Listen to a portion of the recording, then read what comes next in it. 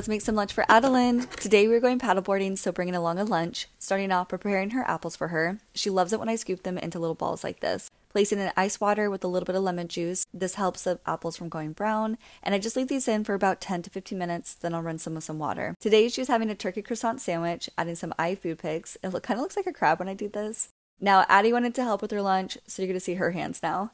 In the spinner, she added some crinkle cut carrot, pistachios, her favorite, aka every kid's favorite, fruit snacks, and then her apples. Now we're her lunch bag, adding in this butterfly ice pack to keep everything nice and cool, and she placed her kettle popcorn and reusable snack bag, and that's it.